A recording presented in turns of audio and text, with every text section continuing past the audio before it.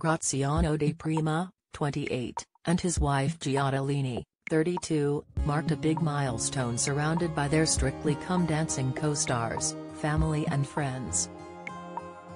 The professional dancers exchanged vows at his old local church, Basilica della Madonna della Catena, in Sicily. The couple, who fell in love while partnered on a TV show in 2014, shared their wedding with OK, with them exclusively opening up about the emotional ceremony to the outlet. But Graziano has since revealed his pal and original best man Johannes Radebe was forced to miss the occasion due to having visa issues. He told the publication, he called me crying on the day. In the morning he told me, I know I'm not there but I've been crying all night and my heart will be beside you.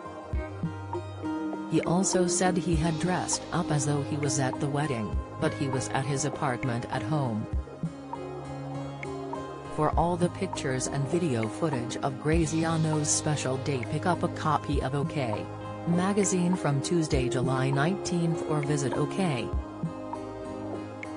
Co.uk